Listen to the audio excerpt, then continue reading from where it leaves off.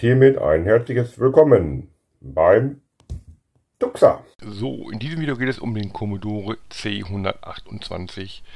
Und zwar möchte ich mich so ein bisschen näher mit dem Basic beschäftigen, weil er hat ja nicht das Basic 2.0 wie der Commodore 64, sondern das Basic 7.0. Also schon einige Versionen besser. Könnte man zumindest vom Namen her glauben. Aber ich denke mal, die haben da so bei der Versionsnummern doch ein wenig übertrieben, sagen wir es mal so. Und zur Unterstützung habe ich hier noch ein Buch gefunden von Peter Rosenbeck, das Commodore 128 Handbuch. Und hier wird doch ganz gut Schritt für Schritt äh, auf die einzelnen ja, Besonderheiten von ja, Basic 7 drauf eingegangen. Beziehungsweise auch von dem Commodore C128. Also sehr gut geschrieben ja, liest sich eigentlich so schön wie ein Roman, hätte ich beinahe gesagt. Also dann bin ich schon ordentlich schon versunken. Ja, vom Text her schön gegliedert halt eben. Äh, kurz und knapp und bündig. Und auch wirklich jetzt von ganz Anfang an einfach den Basics hier praktisch werden hier gut beschrieben. Also das Buch kann ich für den ersten Einblick in ja, Basic 7.0 kann ich es eigentlich nur jedem empfehlen. Ja, und ich habe mir da auch schon so ein paar Sachen da rausgesucht, so ein paar Befehle, die ich sehr interessant fand. Und die möchte ich mal jetzt so ein bisschen Step by Step ausprobieren. Ich habe zwar schon so ein bisschen umgeklimpert, aber viel mehr habe ich jetzt auch noch nicht gemacht. Ja, so sieht das Startbild aus. Commodore Basic V7. 122.365 Bytes free. Also im Endeffekt äh, schon ordentlich mehr als beim Commodore C64. Da lässt sich natürlich vermuten, dass sich natürlich da auch dementsprechend ganz andere Programme mit ähm, starten lassen, zumal er ja auch 2 MHz hat und nicht wie der C64 1 MHz. Hm, das stimmt auch nicht so ganz. Das werden wir auch gleich nochmal einmal ganz kurz testen. Da gibt es nämlich einen Fast-Mode und einen Slow-Modus. Der Slow-Modus wäre eigentlich der Standard-Modus. Dann läuft er auch nur mit 1 MHz und beim Fast dementsprechend dann mit doppelter Geschwindigkeit. Und das können wir auch nochmal testen, inwiefern sich das bemerkbar macht und wie man das praktisch ansteuern kann. Ich glaube, da gibt es mehrere Möglichkeiten. Aber ich möchte mich jetzt erstmal nur auf das normale Standard-Basic äh, beziehen und auch auf die 40 Zeichen, weil ich halt eben auch kein 80 Zeichen äh, Bildschirm habe. Das heißt Bildschirm schon, nur nicht das richtige Kabel dafür. Und äh, für den ersten Step sollte es auf jeden Fall reichen. Ja, schauen wir uns das Gerät doch erstmal ein bisschen näher an. Äh, Kamera ist, glaube ich, ein bisschen unscharf, aber ich denke mal, äh, das sollte jetzt gehen. Ich habe mir jetzt hier so eine kleine Schablone ge gebastelt, damit ich weiß, was die F-Tasten hier für Funktionen haben. Kann man das sehen? Und weil ich auch ab und zu im C64-Modus bin äh, und da mit der Action Replay gerne arbeite, und dann, wenn ich durcheinander komme, habe ich mir das einfach auch mal hier so draufgeschrieben. Wer ein gutes Gedächtnis hat, braucht das nicht, ich schon. Wie unterscheidet sich die Commodore 128 Tastatur vom C64? Eigentlich von hier erstmal gar nicht. Also bis hier das eigentlich alles gleich, kann man sagen. Nur die oberen Tasten, die sind anders und das Ziffernblock. Ja, Ziffernblock funktioniert auch dementsprechend. Keine Frage. Aber auch nur im C128 Modus. Dann hätten wir noch hier Üs und Ös, die gibt es dann dementsprechend beim 64er auch nicht. Und ich habe hier keine Möglichkeit gefunden, äh, wie man die Üs und Es äh, tippen kann. Vielleicht braucht man dann extra spezielle Software für. Irgendwie WordStar oder ähnliches. Oder funktioniert nur im 80-Zeichen-Modus, keine Ahnung. Also F1 hätten wir standardmäßig schon Gra Graphic. Und dann kann man halt eben dementsprechend dann auch schon in einem bestimmten Grafikmodus wählen. Es gibt da verschiedene Grafikmodis und äh, dann muss hier noch eine Zahl hinter, entweder 0,0 oder 1,0 und so weiter. Dann hätten wir mit F2 hätten wir ein Deload.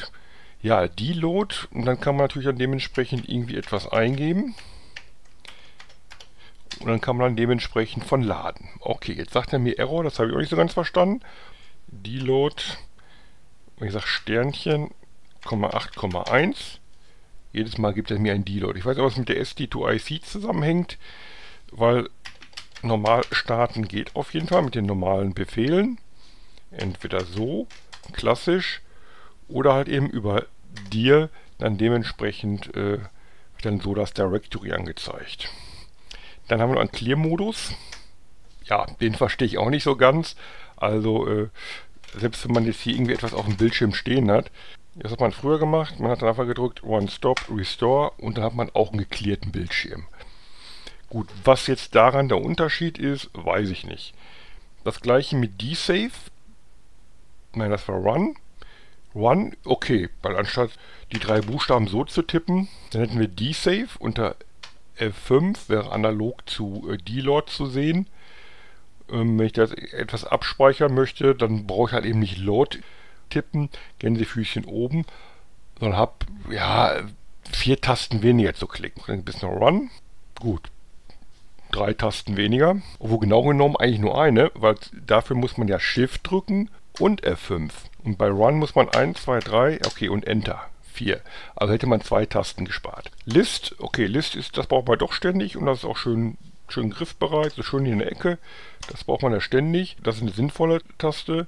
Und die auch sinnvoll ist, finde ich, ist F8, dass man sofort im Monitor ist. Also das finde ich äh, wirklich klasse. Wenn man sich so ein bisschen drum austoben möchte, geht das auf jeden Fall dementsprechend dann out of the box, ohne dass jetzt hier irgendwie etwas rummanipuliert wird. Aber wie gesagt, mit den meisten Belegungen der F-Tasten bin ich noch nicht ganz so hundertprozentig warm mit geworden. Man kann die wohl auch extra belegen. Da gibt es irgendwie einen Key-Befehl und dann kann man dann auch sagen, äh, auf Key F8 sollen die und die Funktionen dran. Okay. Aber nur wenn man Computer einmal ausmacht, wieder anmacht, sind die eh wieder weg. Insofern, hm, Sinnhaftigkeit ist dann eigentlich auch jetzt nicht so gegeben. Ja, und dann die, diese Tasten hier, ja, keine Ahnung, wofür die sind. Also hier hat man ja unten diese Tasten. Das bewegt genau das gleiche, also ist irgendwie doppelt gemoppelt. Ja, dann machen wir hier weiter. Was haben wir noch? No Scroll. No Scroll finde ich gut. Wenn ich zum Beispiel jetzt ein Programm habe, ähm, ich, ich mache mal jetzt irgendein Programm jetzt hier, gebe ich mal jetzt ein. Was haben wir denn hier? Einmal List gucken. Aha, er hat noch das Directory drin. Genau, und da gibt es auch eine wunderschöne Funktion, wenn man bestimmte Sachen löschen möchte. Ähm, del wäre ja zu kurz und zu einfach. Das heißt delete, delete. Und dann gebe ich mal ein äh, 0, machen wir Leerzeichen, 0 bis, äh, sagen wir mal, bis 9. So, jetzt hat er alle Zeilen von 0 bis 9 gelöscht. Aber wenn ich jetzt zum Beispiel die Zeile 100 wegkam, könnte ich delete äh, 100 bis 160 eingeben. Mache dann List. Na, mache dann List und dann wären die Zeilen weg. Also das finde ich ganz gut. Aber ich wollte ja auf das No Scroll, wollte ich ja nochmal zurückkommen. Ist jetzt egal, ich gebe jetzt mal irgendeinen Blödsinn jetzt hier ein. So, ich mache jetzt nochmal List und drücke auf No Scroll. Und jetzt hat man eine richtige Pause-Funktion. Also das ist wirklich eine sinnvolle äh, Sache. Dann kann man sich ganz in, in Ruhe den, den Code anschauen und dementsprechend dann äh, sich hier durchhangeln. Also das habe ich beim Commodore T64 schmerzlich vermisst. Kann natürlich auch dann behelfen, indem man einfach hergeht und One-Stop drückt. Nur habt ihr gerade gesehen, hm, ja, da muss man schon flink sein und an der richtigen Stelle genau drücken. Ist da nicht ganz so einfach. Ja, früher konnte man das Ganze auch noch mit, mit der Kontrolltaste ablangsamen, dass es wenigstens ein bisschen langsamer scrollt. Das geht jetzt nicht mehr. Ich weiß nicht, ob dafür eine andere Taste jetzt vorgesehen. Ah, doch. Ist jetzt nur gewandert auf die Commodore-Taste. Ja, ist okay. Das geht immer noch. Also die Funktion ist nach wie vor gegeben. Ich wechsle mal eben die Kameraperspektive, damit ihr den, den Screen auch besser sehen könnt. So ist das, glaube ich, jetzt mittlerweile besser. So, was hätten wir denn hier noch für schöne Funktionen? Escape-Taste, ja, da könnte ich mal drauf eingehen. Da habe ich nämlich im Buch etwas gelesen. Das Besondere an der Escape-Taste ist, dass man die mit anderen Buchstaben kombinieren kann. Und dann hat man auch nochmal irgendeine so spezielle Funktion.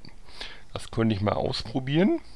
So, was steht in dem schlauen Buch geschrieben? Also Alt ist jetzt fürs Basic erstmal ohne Funktion, ist für die Programmierer wohl interessant, die können das praktisch wie eine F-Taste dann frei belegen. Tab ist, denke ich mal, auch klar. Das geht man ja auch äh, von der normalen Tastatur. Dann kann man dementsprechend in, ich meine in 8er Schritten, äh, kann man hin und her tappen. Kann man auch zurücktappen. Könnte ich mal eben testen. Nee, man kann nur nach rechts tappen. Äh, inwiefern man das braucht, für Textverarbeitung ja, warum nicht? Ähm, fürs normale Basic-Programmieren sehe ich da jetzt auch jetzt nicht so den Sinn drin. Aber da das ja auch als Büromaschine gedacht ist, denke ich mal, macht die Taste dann schon Sinn. Ähm, dann hätten wir hier noch DIN und ASCII. Ja, da kann man einfach nur den Zeichensatz ändern. Dann sehen die Buchstaben halt eben dementsprechend jetzt, jetzt hier so ein bisschen, ja, vielleicht schöner aus. Ach da, und jetzt hätte ich auch das E und das Ö. Okay. Interessant. Dann braucht man einen anderen Zeichensatz. Wenn ich jetzt ein E, ein Ü, ein Ö haben möchte oder was auch immer. Geht auch ein Buckel S? Nee, es geht wohl nicht. Hier, ach da etwas Buckel S. Oder auch SZ genannt. Okay, jetzt gerade irgendwie was Neues entdeckt. Gut, aber Escape-Taste, genau. Die kann man kombinieren mit verschiedenen Buchstaben. Ich meine, von A bis Z ist alles mit dabei. Ich habe mal jetzt so die wichtigsten äh, aufgeschrieben. Modus ändern, einfügen. Einfügen und überschreiben. Genau. Wenn man jetzt hier einen Text hat, ähm, listen wir nochmal mal eben mein, äh, mein, mein Programm. So. Ich schreibe jetzt hier was rein. Ich nehme den unteren Text der äh, Tuxa testet den Commodore C128. So, dann ist es bis jetzt ja immer so, dass sobald ich jetzt hier anfange zu tippen, ist man immer im äh, Modus überschreiben. Jetzt habe ich das gerade geschrieben. Und wenn man jetzt hier etwas einfügen möchte, dann muss man immer so Platz schaffen und kann dann lostippen. Das ist ja jetzt so der Standardzustand, wie man es vom Commodore C64 kennt. Aber jetzt hat man die Möglichkeit auch über Einfügen dementsprechend den Modus zu ändern. Und das funktioniert, was er gesagt, mit Alt, äh, mit Escape plus A bzw. mit Escape plus C. Ich mache mal Escape A. Das hat schon mal nicht funktioniert. Escape C. Ne, funktioniert auch nicht. Ne, das funktioniert irgendwie nicht. Und dann probiere ich mal den nächsten Modus aus. Fred den Cursor ein, Escape E und A, wenn einer meint, ah, da blinken geht mir auf den Keks, dann kann man das Blinken auch irgendwie abstellen.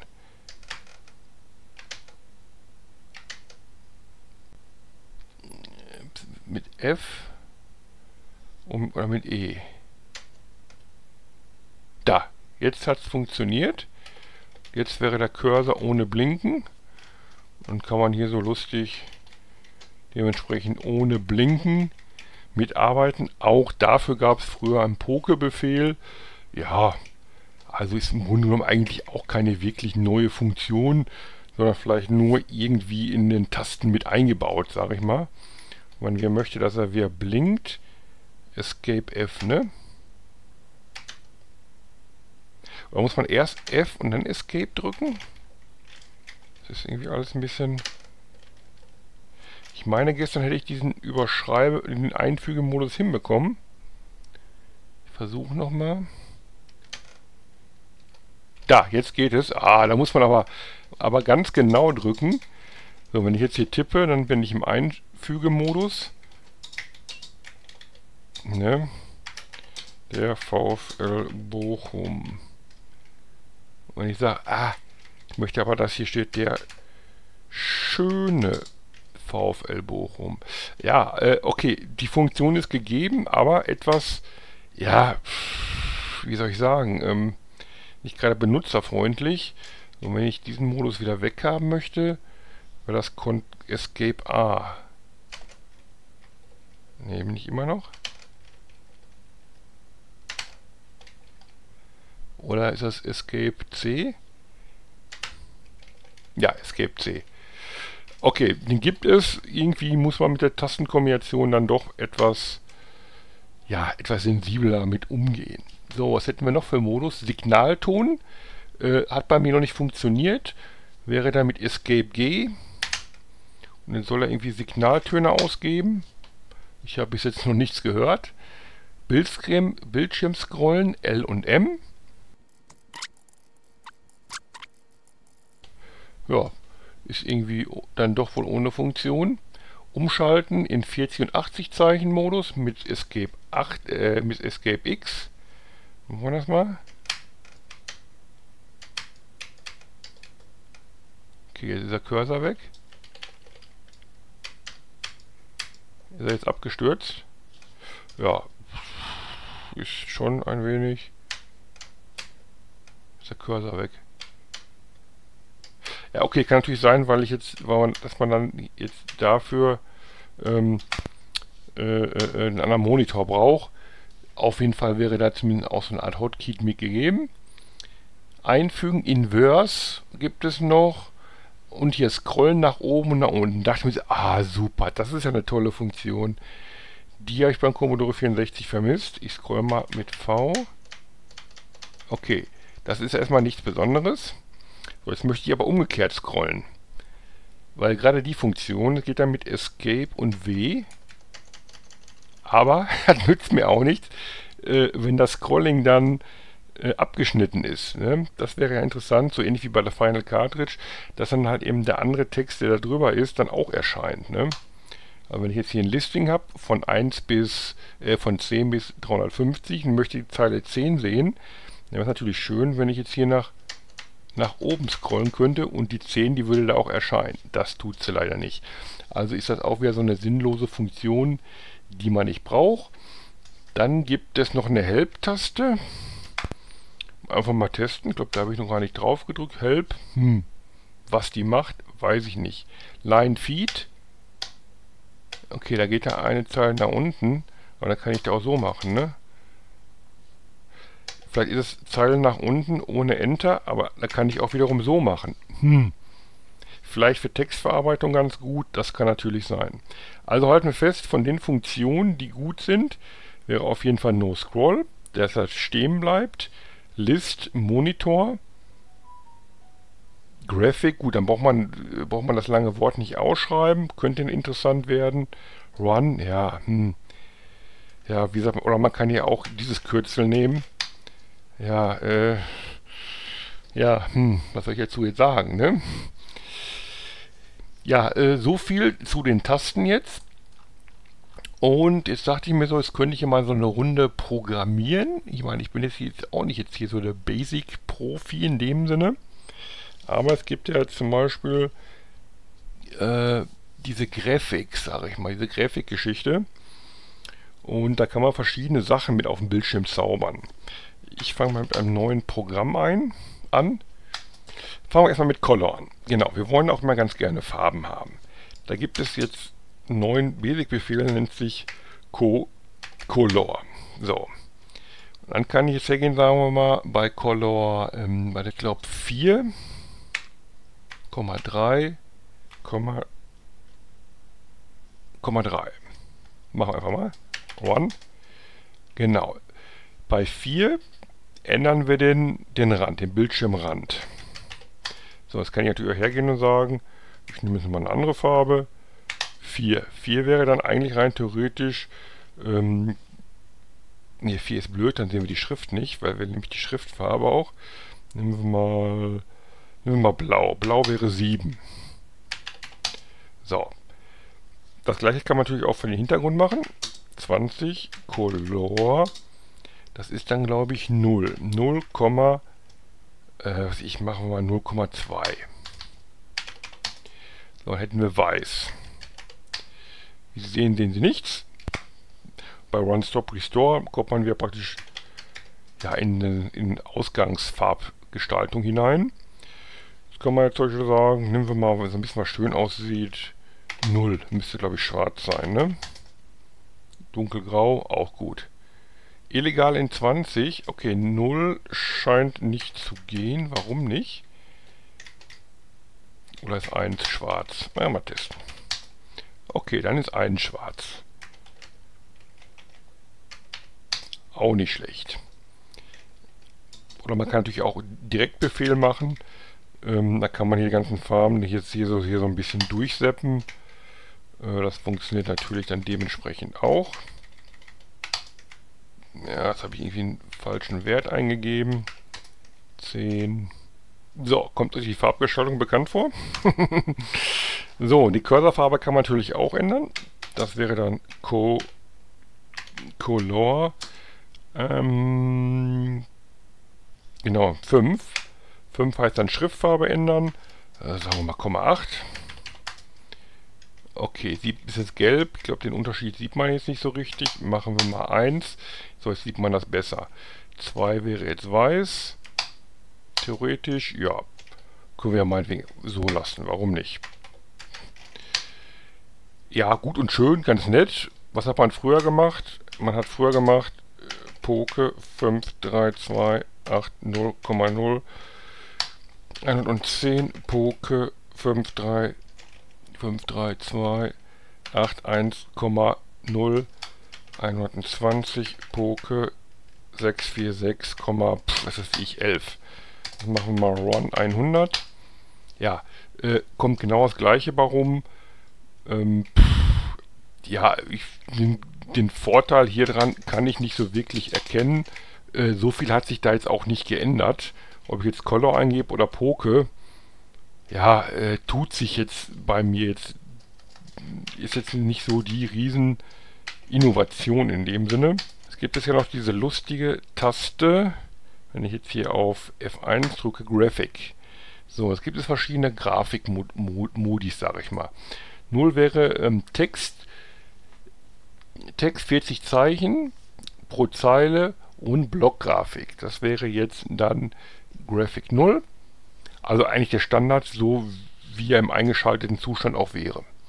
Dann gibt es 1 hochauflösende Grafik, dann gibt es 2 hochauflösende äh, Grafik mit Textfenster, dann gibt es noch Multicolor Grafik, Multita äh, Multigrafik mit Textfenster und 5 80 Zeichen pro Zeile. Da brauche ich einen anderen Bildschirm wieder. Genau diese Modis gibt es also von 0 bis 5, in, in, Summe 6. Mich interessiert in erster Linie der Modi 1, also hochauflösende Grafik einfach nur.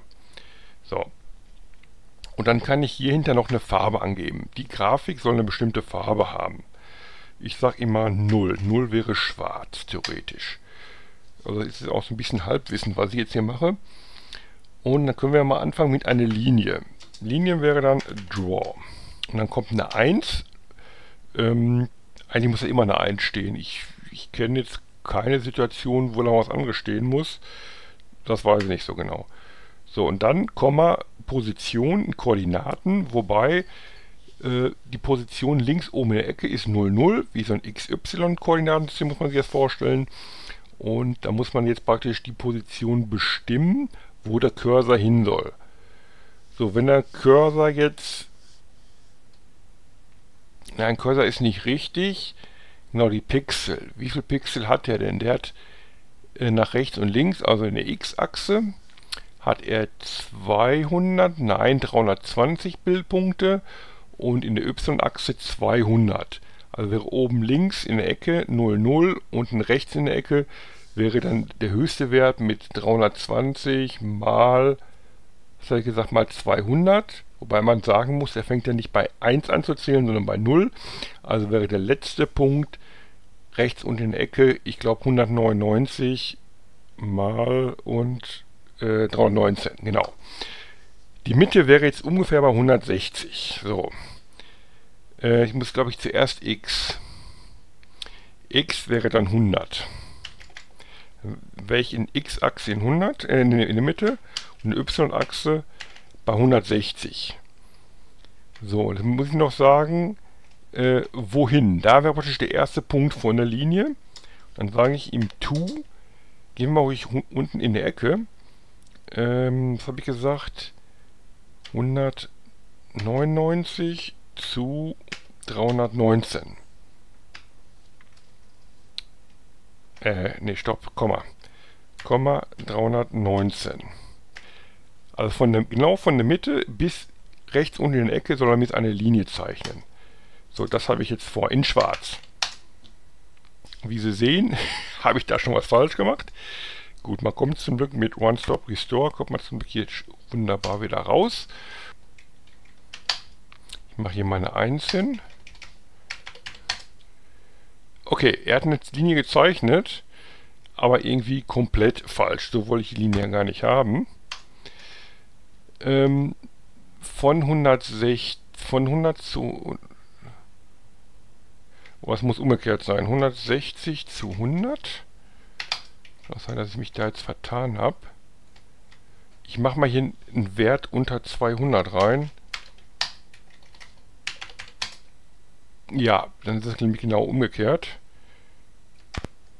Dann zuerst äh, y 160 zu y wäre dann äh, 319 zu 100 lassen wir mal so.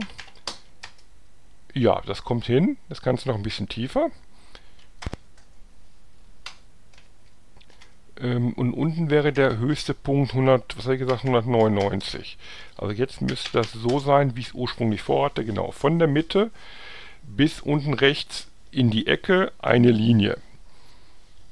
So, wenn ich aber jetzt sage, ich möchte, dass die Linie weiter gezeichnet wird, dann kann ich hergehen und sagen, Draw, äh, Draw, jetzt sagen To, weil der Punkt, wo er ist, steht da schon fest. Der ist ja bei 319.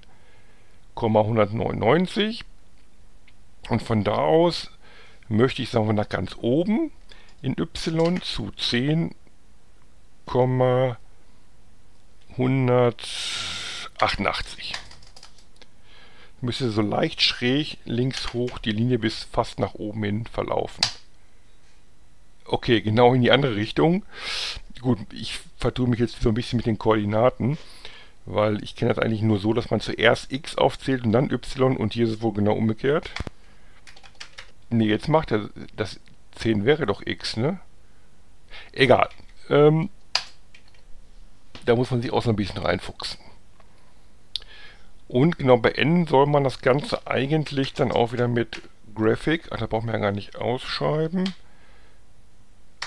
mit Graphic 0, damit er auch nichts mehr im Speicher hat. Okay, jetzt hat man natürlich nichts gesehen. Ähm, dann bauen wir da mal so eine Vorschleife ein oder so eine so eine Kiesschleife. 65 get k Dollar. K wie Key. Na geteilt durch if. K Dollar gleich nix wenn nix dann nix dann 65 das jetzt richtig Genau, jetzt drücke ich eine Taste. Ja, jetzt geht er wieder weg in Graphic 0. Gut, wo wir gerade dabei sind, das ist das nächste super Feature an Basic 7. Es gibt noch einen Befehl, nennt sich re, rename, nicht rename, renumber meine ich, renumber, renumber. Jetzt achten wir mal eben, ich habe ja hier 10, 20, 50, 60, 65, 70. So, jetzt renumber mache ich nochmal ein List. Und es wird aus der 65 wird ein 70 und hat auch in der Zeile 65, aber wo oben steht 65 steht, steht da get k Dollar geteilt durch if k Dollar gleich nix sen 65 hat er auch gleich umgeändert in sen 70. Also diese Logik erkennt er auf jeden Fall auch und das ist auf jeden Fall ein richtig super Feature. Aber auch das ist nicht ganz neu, weil das die Final Cartridge ja auch schon konnte. Aber so kann der Computer das wenigstens out of the box. So, dann würde ich sagen, zeichnen wir mal weiter. Was gibt es noch? Boxen. Man kann auch Boxen zeichnen. Äh, ich liste mir eben noch mal ein Programm. Zeile 80 mache ich mal wieder weg. Ähm, dann machen wir 80 Box. Auch wäre genau das gleiche. 1, warum auch immer, wofür die 1 steht, weiß ich nicht. Machen wir 100. Machen wir 100 mal 100. So, das ist die Position. Und jetzt gebe ich noch die Größe ein. Sagen wir mal 80 mal 80. Dann hätten wir ein schönes Quadrat. Ich weiß gar nicht, ob das schon reicht. Einfach mal Run. Taste. Ja, genau. Und dann hätten wir schon die erste Box. Und jetzt habe ich keinen Graphic 0 fehlt. Und deswegen äh, passiert ja auch nichts. Dann könnte man auch sagen, ach, weil das so schön ist, komm, wir machen noch eine Box. Ups. 90 100, Zeile 9 weg, List, machen wir noch eine Box in 90 mal 90, Und weil es so schön war, in 100 mal 100. Hä? War das jetzt richtig? Warum wird die kleiner? Die sollte doch eigentlich größer werden.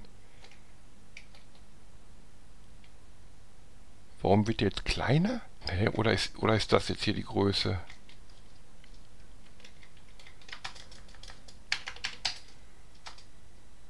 Okay, dann ist genau umgekehrt. Dann die, gibt man zuerst die Größe ein und äh, dann die Position.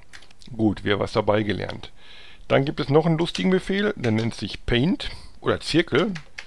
Zirkel, auch wieder 1, keine Ahnung wofür die 1 steht. Was für die Farbe ist, kann auch sein. Position, sagen wir mal 120 mal 21. Äh, ich glaube, dann braucht man nur, nur den Radius eingeben. Sagen wir mal 88. Gucken, was passiert. Taste drücken. Ja, und dann hätten wir einen lustigen Kreis. Schön.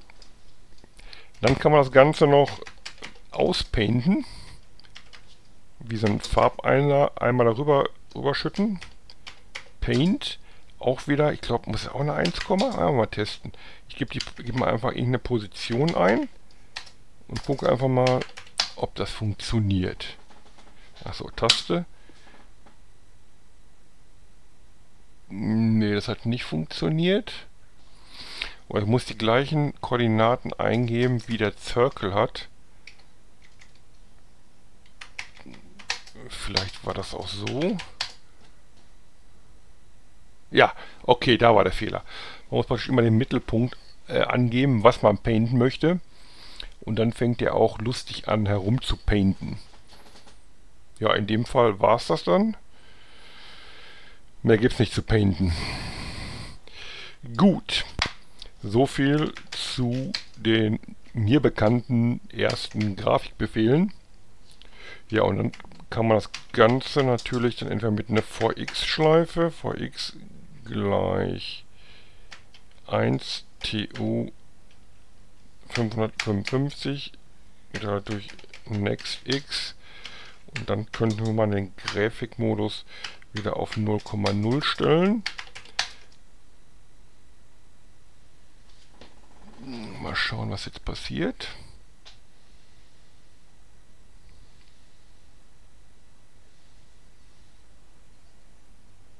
Ja, und wenn ich jetzt einen Text haben möchte, zum Beispiel in dem Circle, äh, kann man zum Beispiel dann sagen, 125, ich füge das da mal zwischen, Char,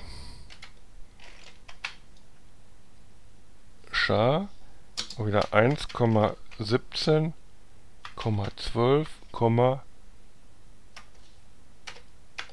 Tuxa. Genau, der Text soll jetzt in dem Kreis stehen. Ich hoffe mal, das war richtig. Ja, das hat funktioniert. Ähm, das sind, glaube ich, die Koordinaten, die ich mir jetzt ausgesucht habe. Kann ich auch sagen, du Text sei mal in schwarz. Wir mal testen. Ist, wenn ich jetzt hier, ich mache erstmal so und dann versuche ich die Koordinaten mal zu ändern. Ne, er macht die auf jeden Fall äh, nicht farbig. Vielleicht gibt es da auch noch einen Poke-Befehl. Keine Ahnung. Genau, dann gibt es ja noch den Fast- und Slow-Modus. Ja, können wir auch noch mal ganz kurz gucken, wie wir den einbauen. Das Problem beim Fast-Modus ist, man sieht nichts. Ja, jetzt müssen wir mal gucken. Wir bauen mal den Fast-Modus. Komm, wir, wir bei 0 ein. Sagen wir einfach mal Fast. Machen wir mal 136 slow.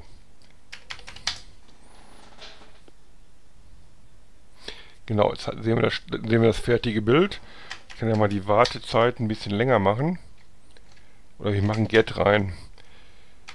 Get a Dollar geteilt durch if a Dollar gleich Gänsefüßchen Zen 140. Dann geht das Bild erst bei Tastendruck weg.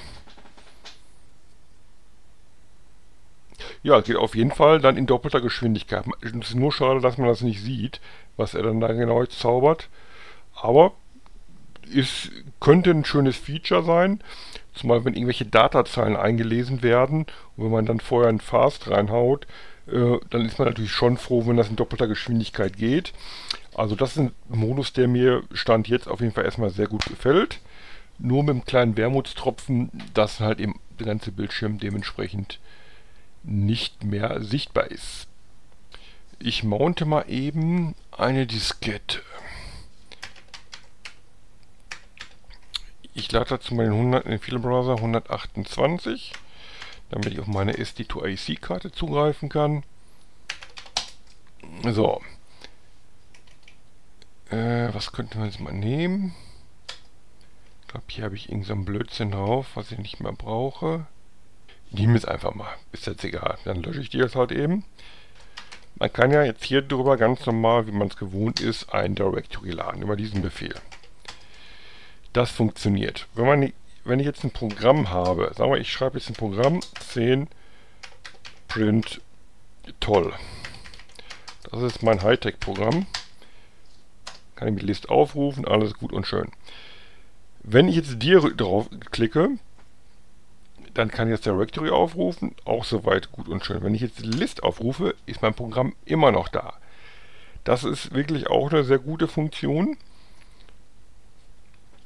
Aber sonst war das ja mal so, wenn man hier drüber dann lädt, das Directory von seiner Diskette und klickt dann auf List, ja, dann ist das eigentliche Basic-Programm weg. Und auch wenn ich die Taste nehme, das Basic-Programm ist und bleibt leider einfach weg.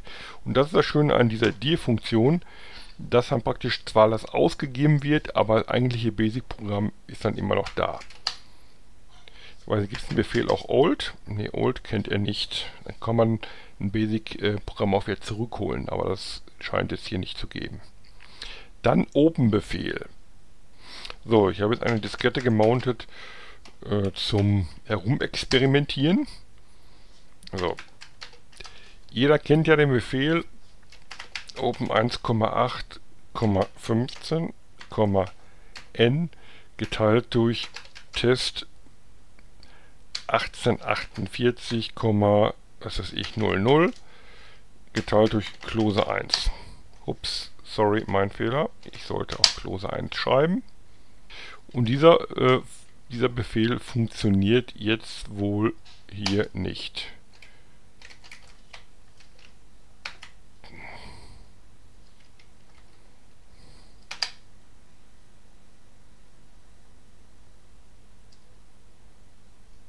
Mit Komma 1 nicht, aber mit Komma 15. Okay. Machen wir jetzt nochmal ein Launch Sternchen, 8,1, äh, Dollar, 8. Und jetzt müsste ich dementsprechend, äh, habe ich jetzt die, die Diskette gelöscht. Kann ich sagen, hier der Tuxa 4711,33. Ich glaube, das war es sogar schon. Are you sure? Yes, I am. Jetzt warten wir einen kleinen Augenblick. Und jetzt kann ich das Directory laden und schon hätte ich eine Diskette formatiert. Das muss ich sagen, ist endlich mal ein Befehl, der ist okay. Ne, ich meine, mit den Open 1,8,15 kam ich bis jetzt auch immer klar, aber da hätte man schon das eine oder andere gespart. So, das soll es an der Stelle gewesen sein. Ich bedanke mich wie immer fürs Zuschauen und verabschiede mich jetzt noch bis zum nächsten Mal. Glück auf!